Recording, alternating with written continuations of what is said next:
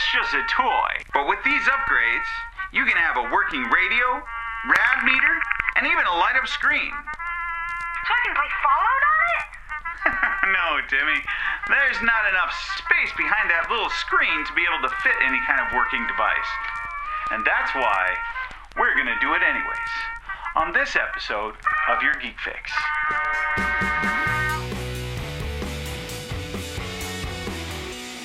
So this year I'm cosplaying as a Robco service and repairman, or at least this is my take on it. I don't wear overalls. I also updated or uh, upgraded my Optivisor to be more Fallout ready. But most of all, this was my opportunity to finally get a Pip-Boy 2000. That's right, Pip-Boy 2000. The fun, easy, full-size kit. Why, even little Susie can assemble it with the included instructions and an advanced degree in nuclear physics. Pip-Boy 2000 comes with all the parts needed to build your Pip-Boy. And now you can even get these upgrade kits for working radio and rad meter. The screen even lights up and sputters, so you have to hit it to, to get it to straighten out. And that's pretty cool. But what everyone wants is an actual device, one that can actually uh, play music or connect to Fallout 4. And I think we've figured out a way to actually do that. But before we can make any upgrades, we need to open and assemble the Pip-Boy. Speaking of which, look at that. How can I throw that out? That's, that's impossible. It's a, it's a box. It's just a box. But now I'm gonna have to store it someplace. And, and they just keep doing that sort of thing. Once when you get inside, uh, same thing. Inside there is another box, case, and uh, this case has all sorts of detail on it. I mean, you have the label on the outside, you see the latches, the handles, uh, some of the inlay, the Vault-Tec symbol there. And then when we uh, open it up, it has great artwork on the inside and it shows off the parts really nicely. This is actually what inspired me. It reminds me of a 1950s showroom display. And that's what I want my Pip-Boy to look like. So while most people are out grunging up their Pip-Boys, I think I want mine to have a clean, sparkly enameled look. I think it's a lot better to paint these parts before we actually try to assemble it. So step one is to take all the parts out and then paint it.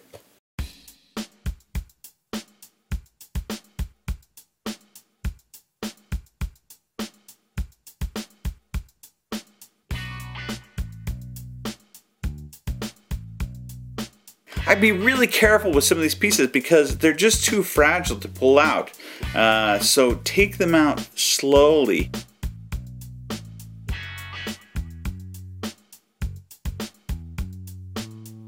Everything has a place and it's organized until you get to this box.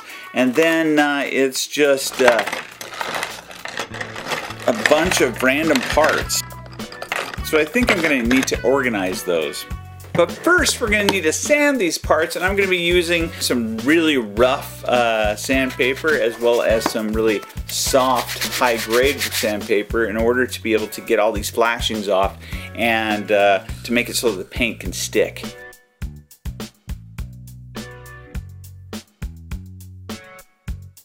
So once when that was all prepped, it was ready to be painted. And the two colors that I used most on this were Blue Galaxy and Green Copper. Now if you just try spraying these by themselves, what you'll find is it just looks clear. It looks like nothing's coming out. Truth is, it's mostly a glitter that's coming out and a little bit of a tint. But for the most part, it's just a gloss. Uh, and so uh, if you don't know better, it does not look like what the caps look like. You have to have some kind of color underneath. So I started off the first layer using a dark green by Model Masters and a turquoise metallic for the uh, blue metal pieces. And once when those were dry, I sprayed them uh, with the blue galaxy for the blue metal and the green copper for the green metal. And the way it came out looks absolutely awesome. I mean, look at this color particularly, I just really like. It came out so good.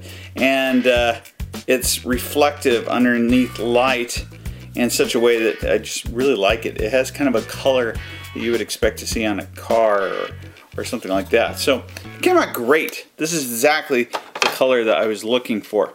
Now we can apply our decals. They all come on a sheet like this. I have uh, some extra ones that you can put on that mean different things. Uh, you get to pick the dates that you wanted. I also put some gloss on the timer numbers uh, to give it more of a windowed effect instead of just a sticker. One thing I don't like about this kit is it comes with these boxes that are just full of a bunch of random parts. And while that's kind of neat, it even has a picture on the box, uh, just a whole bunch of random pieces.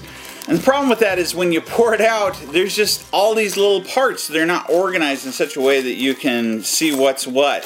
So I took them and poured them out into the sandwich bags so at least I could see what I'm picking for and and more easily access it. There are instructions inside the kit, but they are complex and a bit ambiguous. For example, uh, use this screw. Looks like this. There's no size, no numbers. I know.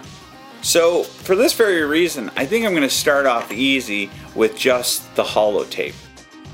There are also tools that this comes with, uh, from little Vault-Tec screwdrivers uh, to a wrench to uh, this part right here we'll need later on for taking off the buttons. Um, but these are primarily for the holotapes and some bolts on the sides. I don't recommend trying to build the whole thing with these tools. Get some real tools to do that. These tape kits are also sold separately and they also usually come with a collector's card so watch out for those. Last piece. Clicks on. And there you go. That was easy enough. So with my confidence up I feel like I am ready to keep on going. There are online instructions which supposedly are easier to follow on uh, the Wand Company's site. Uh, however I think I'm gonna try and do it all with the actual book so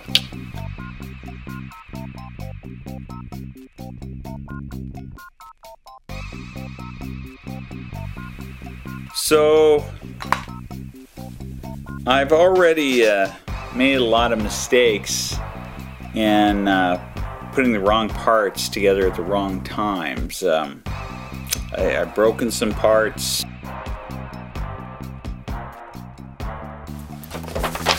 If you look at the instructions, uh, they don't quite line up. Uh, so I'd get to the next number but uh, I, I had already screwed something else together and that was a problem. I think also I tried to put it together in modules, which it seems like is a good way to put it together, but you, you really want to have certain pieces done first. So, um, yeah. Okay, it is pretty much done. And now I think we're ready for the upgrades. Now, at the time of this video, you could only get upgrade kits for the radio and for the screen. Um, the rad meter wasn't available yet, and I should say, I wonder if they might not release it if not enough people buy that radio and screen. So please, if you're really interested in this, uh, don't hold off. Make make that purchase now, or let them know that you're interested now, because uh, I really do want that rad meter. But what everyone wants is a device, something that will do something. It'll, it'll play music or connect to Fallout 4. So why didn't they make that? So Chris Barnardo of the Wand Company said that originally they did want to make a fully functional display, one that looked like a CRT and that would actually interact with the game. Problem was, the screens these days are too wide, and that making a special screen that would meet that traditional shape would be too expensive, and because they're only planning on making a few thousand of these, quote, fans would not be able to afford it. So I took this as a challenge. Finding an affordable screen that would fit the classic square shape with the Pip-Boy interface built in, self contained, and able to interact with Fallout 4. But how can we do that? This is the BlackBerry Passport. The Passport includes a quad-core 2.2 gigahertz Qualcomm Snapdragon 801 system on chip with 3 gigabytes of RAM, 32 gigabytes of expandable internal storage, and a battery that lasts up to 30 hours. Most importantly, it contains an almost perfectly square screen. A square screen that can fit our Pip-Boy. It also runs Android APKs, which means I can sideload my Android app and uh, also have a working Android theme. Unfortunately, this means that there will be modification. Taking apart or modifying your phone, Bluetooth, or other devices may not only break them, but may result in electric shock, fire, and even explosions. We all know how that turns out. So don't try this at home. Your Geek Fix. We do stupid things so you don't have to. Before we go any farther, I, I want you to know that I don't want you taking your BlackBerry apart. I, I don't recommend it, uh, not at all. In fact, spoiler alert, I'm going to break one of these phones before we're done. This is not a DIY video on how to modify your BlackBerry. It's just an attempt on my part to show it is possible to make this thing work. So, with that, I better start taking it apart.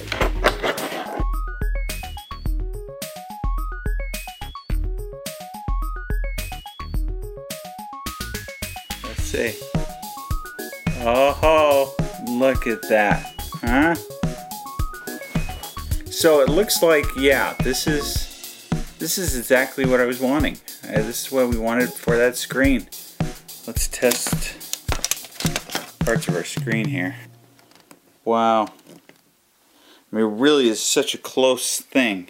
So the secondary idea was, or my original idea was, if we can turn the screen, if we can turn the screen, this is a lock. I mean, it should work great, um, but we'll see.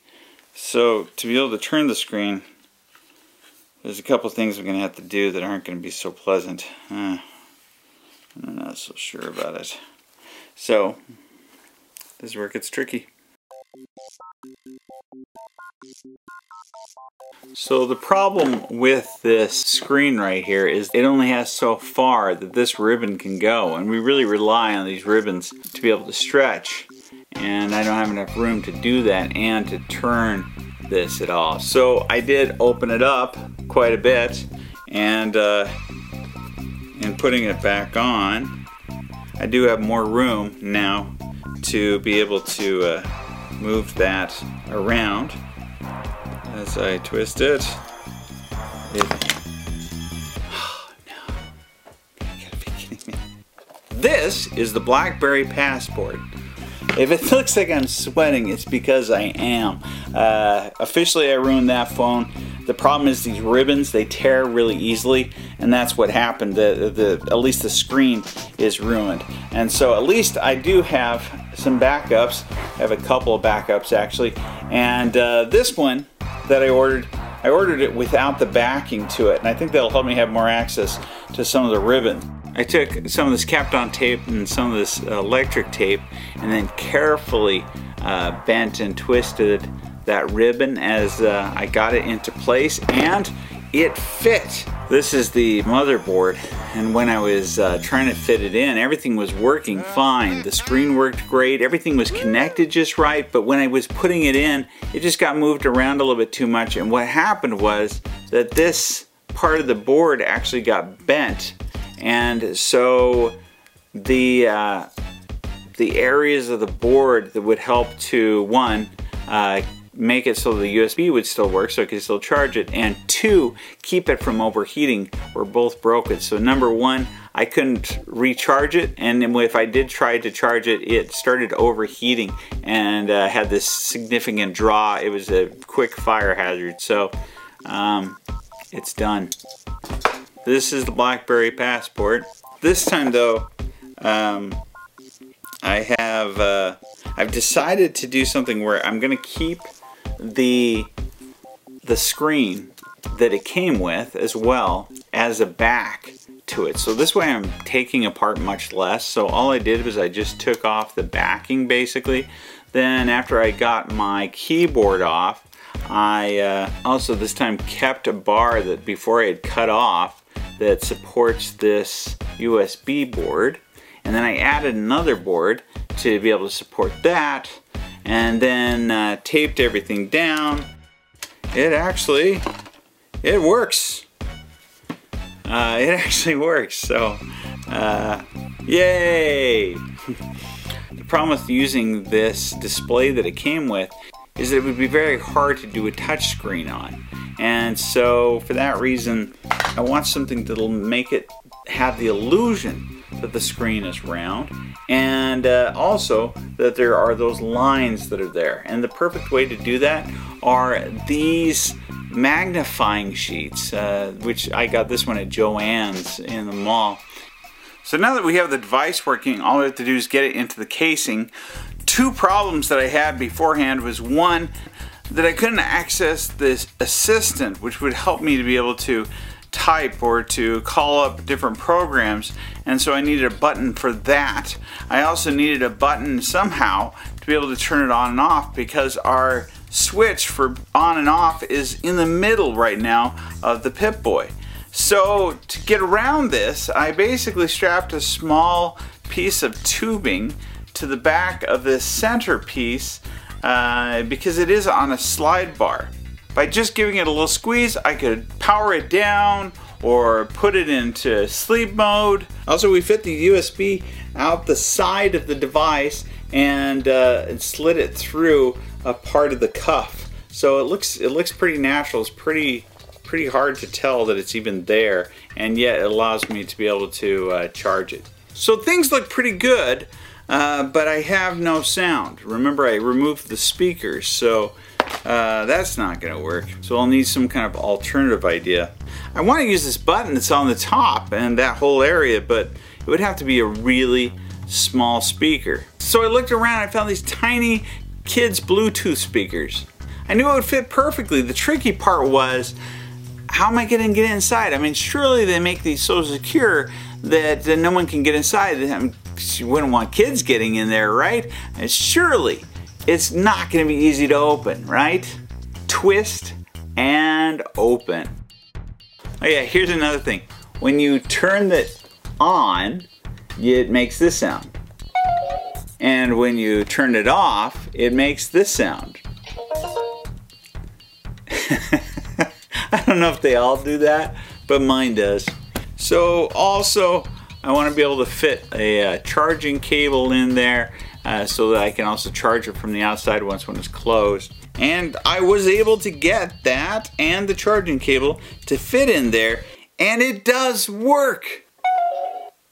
Next for our radio upgrade. Sadly, you have to remove this special radio that uh, we built in order to be able to make it work. Uh, but you'll notice this button right here is really hard to push. On the new one, it's pretty easy you will have to take apart and uh, remove a majority of the right side of the module in order to be able to get it all put together.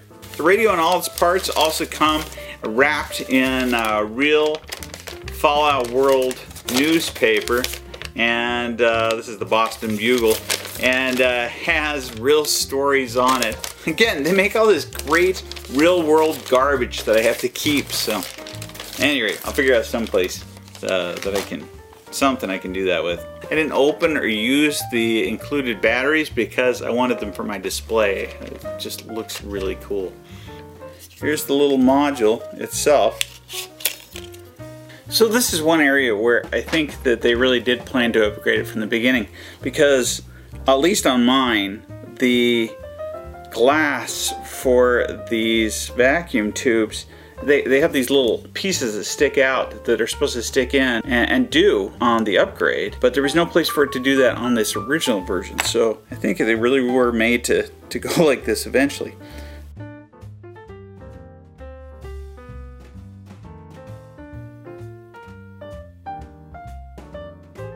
So this is about how big it's going to be on me and uh, I could see people replacing this with leather, and I know that's something people are liking to do, but quite frankly, I think this will breathe better uh, and won't get as hot if I had to do a long day at some conference. So pre-warning, there's little tiny wires on here that have to go through holes and then have to go through other holes. It's a lot easier to do uh, before you actually connect it all together.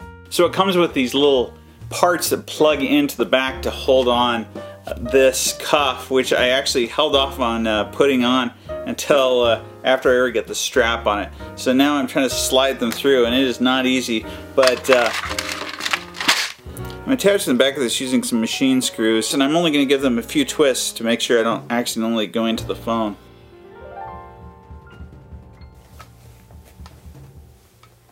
I'm done. That's it. So now just to clean up the area and test it out. So I can say this so far. Uh, this is very uh, heavy. It definitely feels exactly the way you would assume it would be in the game. It, it feels it feels heavy to do this for a while, but it looks very cool. It came out very nicely.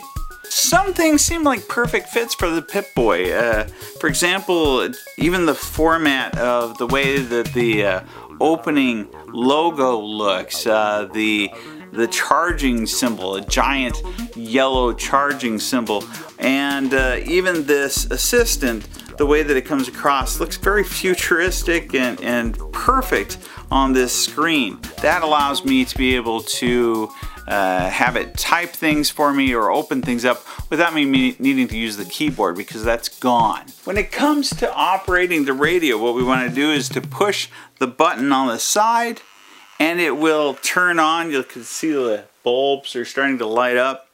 And this is how you select the radio stations just by single clicking in one direction or the other to scan for your radio stations. When you want to turn it up, you just hold down that button and it turns it up or hold down the opposite button to turn it down. The knob on the side actually makes it uh, play real world sounds from the Fallout universe. So basically, your real radio uh, is interrupted by uh, radio receptions from the uh, Fallout world. Pretty cool. Turning it off, just double click it, and it clicks off. I would recommend turning it off whenever you're not using it because it is only batteries that are in there and in order to get them out you have to take off this whole front section as well as the screws. It's just not worth it. So conserve your energy as much as you can. The Android Pip-Boy app for Fallout 4 works perfectly on this device. It has a perfect orientation and format. However, to get it to work, I had to disable a lot of securities and uh, also do some things with Google Play Store. Also don't forget that you have to enable it in the game itself. So once when uh, the app starts up,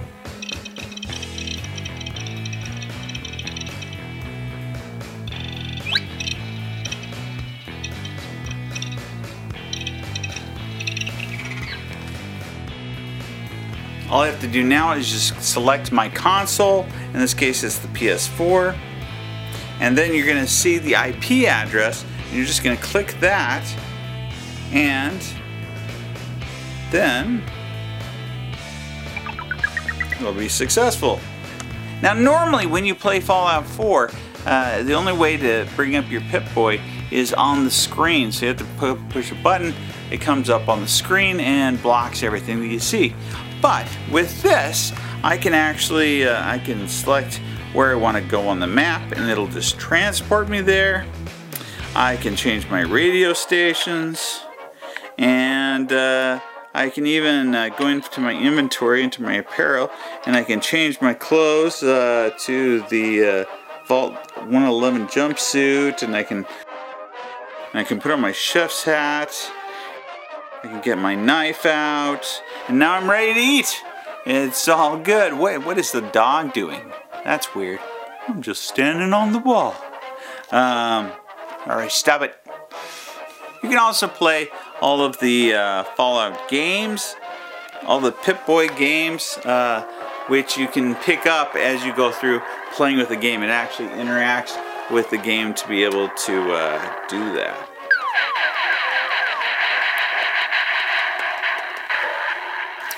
Because my Pip-Boy runs Android, that means I can also run other uh, Pip-Boy or Fallout related apps like Hacker Terminal, Terminal Hacker, Wasteland Hacker, uh, Fallout FM, Galaxy News Radio, A Bomb Radio, and Pip-Boy Wallpaper. Pip-Boy Weather can show you the conditions in whatever vault area you're in. Fallout Community app helps you to stay connected, while the Fallout Chat helps you to be able to have an actual way of typing and uh, also emojis that are related to Fallout. Surprisingly, I even got Fallout Shelter to work, and it runs pretty great. If you're still waiting for the rad meter to come out and uh, want something to hold you over in the meantime, there are sensors that are built into your phone that actually can pick up on at least uh, electromagnetic energy. And there's this one that's called Geiger Counter Pro that even responds with clicks. So when I bring it in close, it increases. And when I take it away, it goes away. Because it's app based, the sky's really limit on what you can do with it. I can play other classic games, listen to music, make Skype calls, watch videos and YouTube. I can even use it as my own personal alarm clock. At least that's what we would use it for. What would you use it for? Let us know in the comments below. If you like this video, please be sure to subscribe, comment, and give us the thumbs up. And stay tuned in for our next video. We'll show you how to paint toys to look like real metal equipment. But for now, this was your Geek Fix.